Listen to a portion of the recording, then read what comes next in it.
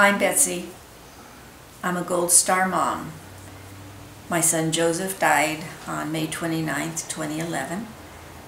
The former bed and breakfast that is now known as Captain Joseph House um, is a 1910 great, great old house that he used to say is a great place to have grandchildren.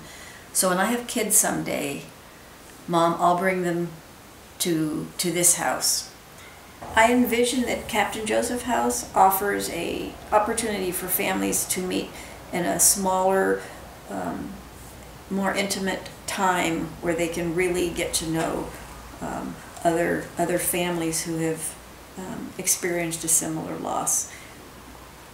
We've arranged that each family will have a van and a driver that will pick them up in at the airport, and that driver will be with them for their um, for their week to take them um, to all the different activities if they wish to participate. There's hiking, there's trips out to the shore. We have a fantastic uh, animal farm uh, where the you take your car right through and the animals are there and the kids can feed them.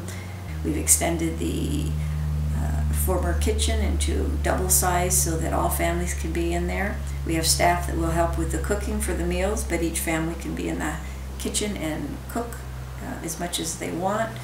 We'll have a fire um, barbecue pit outside and we'll be doing traditional baking fish on cedar sticks over the open fire. There's a gazebo and will be heated and lit that on a, a, rainy day you can take a cup of tea out and sit in the gazebo and just listen to the rain. We've added a sunroom to the house um, so even on a gray day there will be lots of light and uh, families will be able to sit in there, games, read, visit.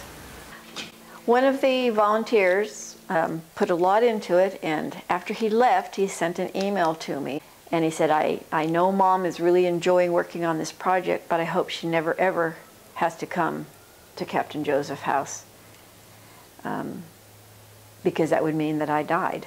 And he goes, but I can go into battle, I can go into combat knowing that if I die, there, there will be a place for her at Joseph House to, to help her along this journey. So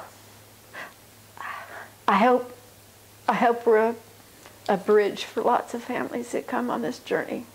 That they come here, they rest, they have time to meet other families, they make some connections, some bonds that they can take with them when they leave Joseph House and carry on in their in their lives.